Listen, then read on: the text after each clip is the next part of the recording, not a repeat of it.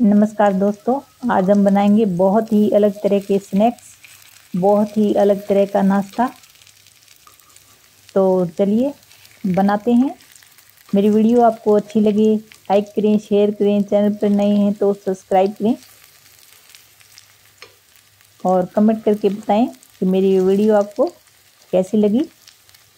इसको बनाने के लिए हमने चार उबले हुए आलू लिए हैं। और अभी हम इनको मैश कर लेंगे चम्मच की सहायता से।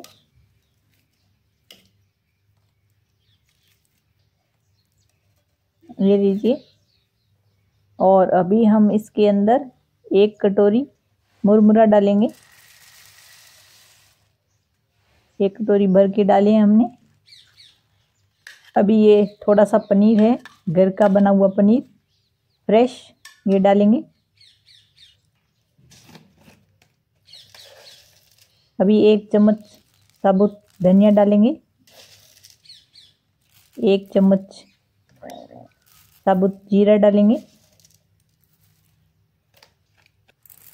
अभी आधा कटोरी साबुदाना लिया है, इसको हम ग्राइंड कर लेंगे। ये भी इसके अंदर ऐड करेंगे ताकि ये अच्छे से बाइंड हो जाए। ये दो प्याज डालेंगे। दो हरी मिर्च लिए हमने। फिर डालेंगे आधा चम्मच हल्दी पाउडर, स्वादानुसार नमक और आधा चम्मच लाल मिर्च पाउडर डालकर इसको अच्छे से मिलाएँगे।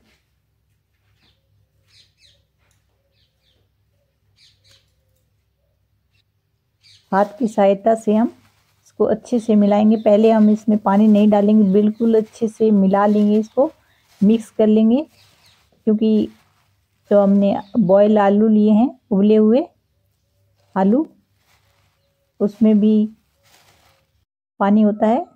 तो ये देखिए, अभी हम थोड़ा थोड़ा पानी डालेंगे। क्योंकि साबुदाना जो होता है, वो पानी डालने के बाद थोड़ा सा और फूल जाता है तो इसको हम पानी डाल के और मिक्स करेंगे।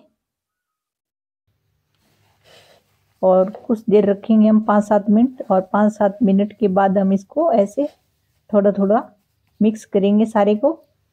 और अभी इसमें से बैटर लेंगे और हमारे स्नैक्स तैयार करेंगे। इसको दबा दबा कर हम स्नैक्स बनाएँगे। अच्छे तरीके से आप जैसे चाहें शेप दे सकते हैं। तो अच्छे तरीके से दबा दबा कर स्नैक्स बनाने हैं आपको, ताकि ये फ्राई करते वक्त टूटे नहीं। और बहुत ही टेस्टी, स्वादिष्ट नाश्ता बनकर तैयार होगा दोस्तों। आप बनाते बनाते थक जाएँगे, लेकिन खाने वाले नहीं थकेंगे। तो एक बार ज़रूर ट्राई करना। मेरी वीडियो आपको अच्छी लगे लाइक करें शेयर करें चैनल पर नए हैं तो सब्सक्राइब करें। हमने सारे रेडी कर लिए और अभी थोड़ा सा हमने रिफाइंड ऑयल डाला है और अच्छे से गर्म हो गया। तब इसके अंदर हम ये स्नैक्स जो नाश्ता है, वो रख देंगे।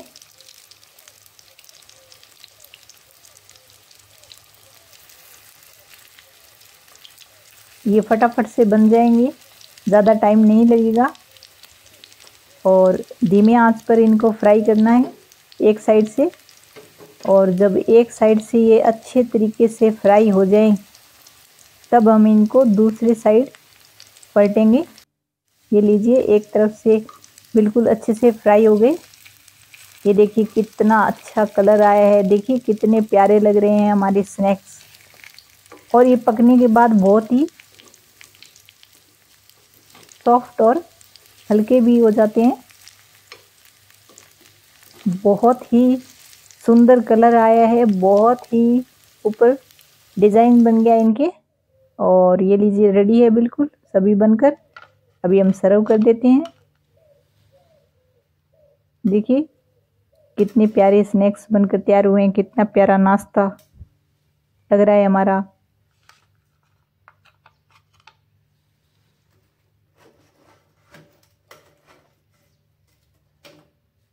आप इनको दही, चटनी, पुदीने वाली चटनी, धनिया चटनी, किसी के साथ भी खाएँ, सॉस।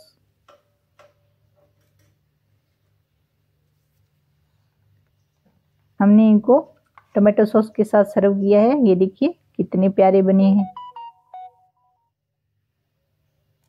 तो एक बार ज़रूर ट्राई करना और कमेंट करके बताना कि मेरी ये वीडियो आपको कैसी लगी। अंदर से देखिए बिल्कुल अच्छे से पक गए हैं। ये देखिए, कितना सारा।